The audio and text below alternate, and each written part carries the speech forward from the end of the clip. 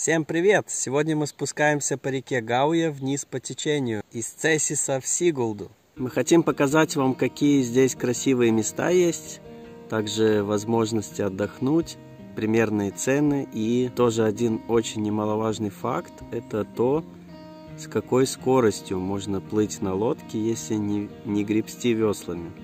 Впереди нечто наподобие водопада. На скалах рисунки на разных языках. Тут очень много туристов отдыхают. Сами скалы напоминают красный кирпич. Самое главное это то, что на этой реке скорость течения примерно 2 км в час. К вечеру может быть немножко меньше. Но можно рассчитать, примерно если выбрать маршрут 20 километров, то за 10 часов доплывешь примерно. Это если не гребсти веслами. Значит, по поводу кемпингов такая ситуация, что переночевать со своей палаткой стоит 15 евро. На самом-то деле есть другие места, которые бесплатные, но там может быть не быть людей. То есть вы приезжаете и ставите один палатку на поляне, где возможно, придет кто-то ночью. Или, возможно, просто, что к вам придет дикий зверь к палатке. Все возможно. Но, конечно, и такое возможно и в, в оплачиваемом кемпинге. Почему нет? Даже если много людей, ну, конечно, вероятность существенно снижается. Если же вы все-таки столкнулись с каким-то диким зверем, который подошел к палатке, и вы думаете, что можно его просто напугать, накричать, включить фонарик, потрясти палаткой, или если у вас есть какое-то оружие, то его использовать, то это не вариант. Потому что, к примеру, если это лось, кабан или медведь, то они могут еще больше рассердиться и пойти атаковать. Лучшее средство против такого зверя, это, конечно же, газовый баллончик, потому что у любого животного очень чувствительное обоняние.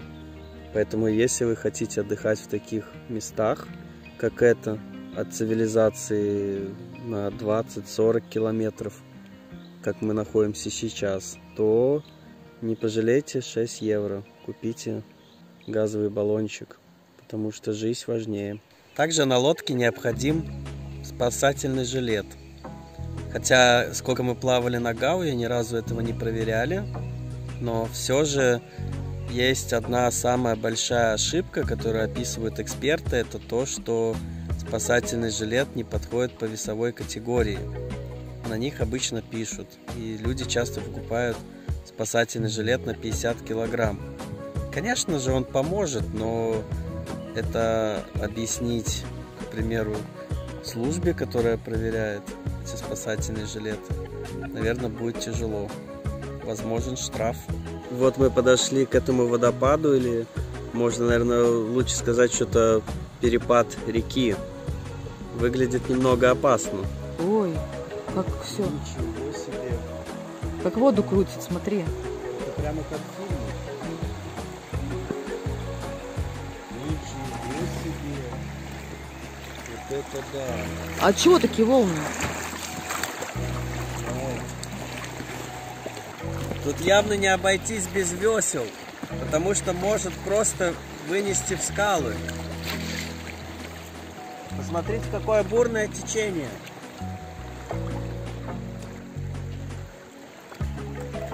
Между прочим, мы сегодня протерлись об камни в воде. Могла тоже пострадать лодка, но она у нас с несколькими защитами. Э, вообще на Гауе очень много маршрутов но этот нам нравится больше всего, потому что здесь вообще кругом одни горы. Это ближе к середине уже маршрута. Это прямо как пещера. Тут даже есть родниковая вода, которая текет прямо из скалы. И впереди еще один водопад. Много отдыхающих возле этого водопада. Видно, что людей это интересует. И, кстати, сейчас уже скоро вечер и придется нам с ночевкой оставаться здесь.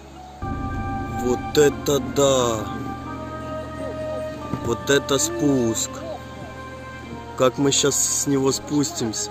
Нет, мы должны еще раз здесь проплыть. Когда-нибудь. Это не опасно? Подожди, Андрюшка. Да нет, ты чего? Я боюсь. Коп!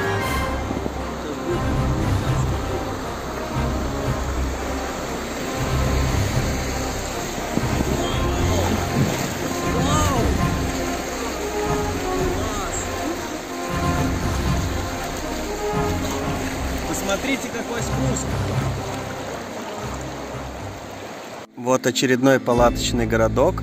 Цены можно посмотреть в интернете. Или можно позвонить прямо по номеру, который указан на интернет-сайте. Многие снимают плоты, лодки, которые их привозят и увозят прямо на место.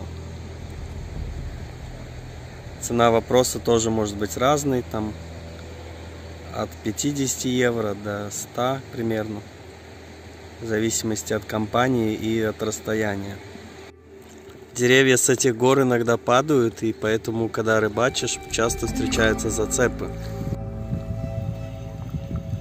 Что-то не клюет, сплошные убытки. Лучше отдыхать. Попытаться, конечно, можно. Пускай рыбка плывет вместе с лодкой. Клюнет так клюнет. По идее, вдоль всего маршрута встречается очень много таких островков, на которых тоже можно поставить палатку, и наверняка это будет безопаснее, чем на суше. Хотя, конечно, многие дикие животные умеют плавать и спокойно могут перейти на этот остров, но все-таки. Вот еще одна опасная ситуация. Острые камни справа и спад реки. Но если за всем тщательно следить, то все это, конечно же, относительно безопасно. Посмотрите. Здесь мы приплыли в такое место, что два острова, и между ними везде спуски с реки опять. То есть можно выбрать даже, где безопаснее. Или наоборот кому-то поинтереснее будет спуск. С адреналинчиком. Да, с адреналинчиком. Мы подплыли к очередной скале, и я хочу просто ее потрогать. Это же родник текет. Ух ты! Эту воду можно тут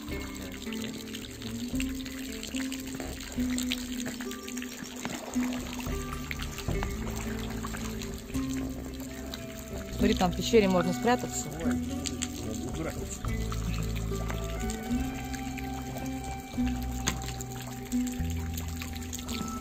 Ничего себе! Вот это да! Смотри, Что это такое, глина? это не нет, это камень. Камень. Это реально камень, как красный подобный. Там тоже подписались вон.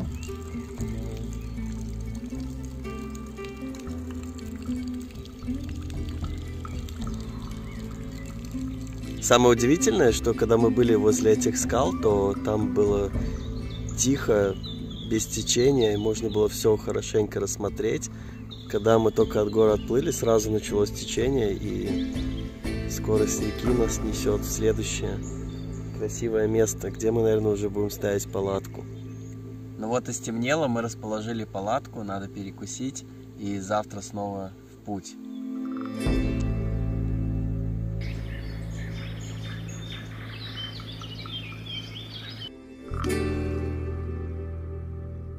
В отношении глубины про Гавью можно сказать однозначно, что бывает, что посередине речки глубина по колено и резкий обвал на метров 20. То есть такие перепады глубины. Чуть было не забыл сказать очень важную информацию о том, что если вы ночуете в бесплатном месте, то там есть официальный знак, что вы можете ставить палатку и жечь костер без мангала. Там определенные выделенные для этого места. Последнюю часть пути мы плыли, и гор не было. И в самом конце мы неожиданно увидели вот такую вот скалу, где течет чистейшая родниковая вода, очень холодная. И там можно пройти прямо туда вот, между этих гор. Сейчас мы посмотрим, что там.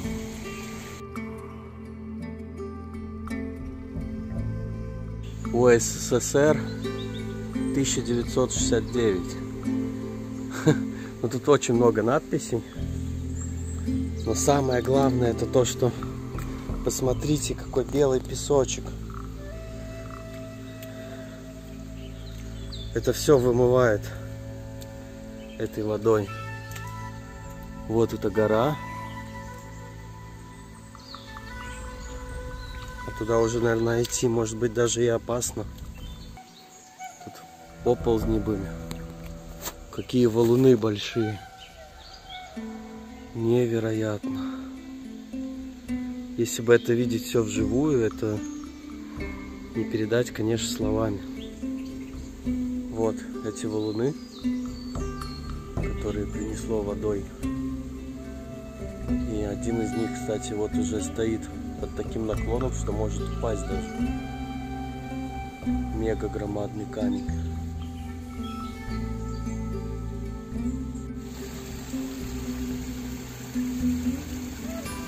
Ну и на этом живописном месте мы с вами будем прощаться. Всем пока!